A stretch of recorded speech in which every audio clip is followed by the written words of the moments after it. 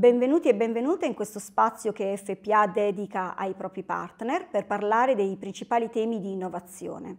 Oggi dedichiamo questo spazio all'ottimizzazione dei processi organizzativi e lo facciamo con Federico Piccinno, responsabile dell'unità organizzativa, organizzazione, processi e progetti speciali della Croce Rossa Italiana.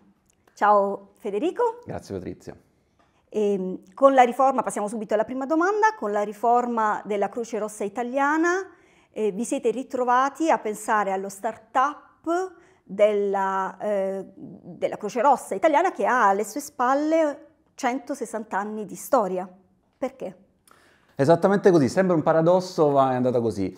Eh, nel senso che nel 2024 eh, l'Associazione della Croce Rossa Italiana festeggia i suoi 160 anni di vita dalla sua fondazione, ma in realtà eh, nel, a seguito del decreto legislativo 178 del 2012 l'associazione ha vissuto un periodo di riorganizzazione perché il legislatore ha previsto una privatizzazione che ha determinato di fatto un reset completo di tutta la struttura organizzativa. Questo so che per molti può risultare una sorpresa perché abbiamo voluto prestare una massima attenzione affinché la, eh, diciamo, questa riorganizzazione non impattasse sui servizi che eroghiamo quotidianamente nei riguardi della popolazione. Però di fatto ha de- determinato un reset completo. Questa però per noi è stata anche un'occasione per poter ridisegnare l'organizzazione nel suo intero e quindi andare anche a ristrutturare, a pensare da zero tutti i processi organizzativi, anche in chiave digitale. Bene, quindi il digitale per snellire la burocrazia. E qual è stato il processo? A me piacerebbe pensare eh, diciamo, l'arco temporale dal 2016 ad oggi come distinto in due fasi. La prima fase era dedicata a definire i processi e eh, andarli a pensare da zero, proprio perché siamo partiti da una struttura che partiva da zero, in virtù dello startup di cui parlavamo prima.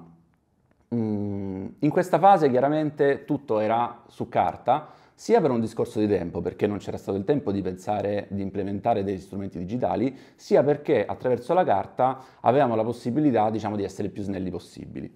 Una seconda fase, un pochino dopo, che era mm, diciamo, dedicata invece a un consolidamento dei processi organizzativi e quindi anche a una loro digitalizzazione. Mm, in questa fase però non abbiamo voluto dare nulla per scontato perché eh, abbiamo voluto puntare anche a guardarci diciamo con occhi esterni e a non digitalizzare, quindi non portare nel mondo digitale le cose che avvenivano sul mondo, diciamo, nel mondo analogico to cure, ma vogliamo, abbiamo voluto proprio ripensare o comunque dare la possibilità di ripensare alcune attività che svolgevamo su carta.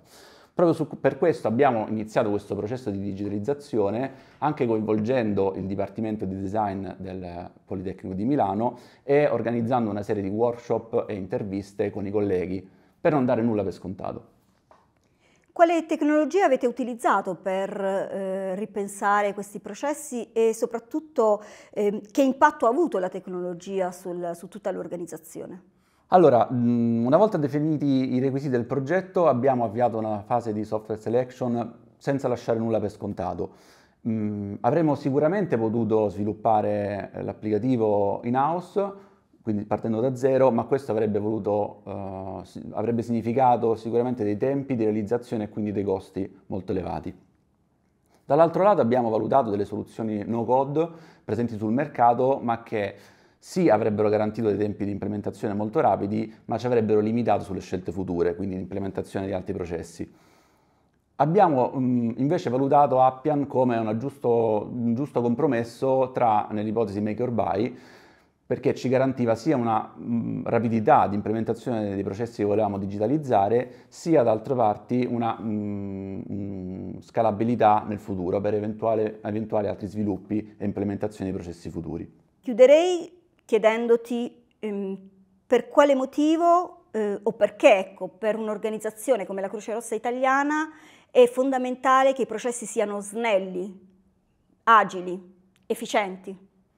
Allora, la Croce Rossa Italiana chiaramente non è una realtà profit, però per noi è fondamentale che l'esecuzione dei processi, anche la, la, loro modifica, sia snella e veloce per poter rispondere ancora più rapidamente ai cambiamenti del contesto cui ci, in cui ci troviamo ad operare.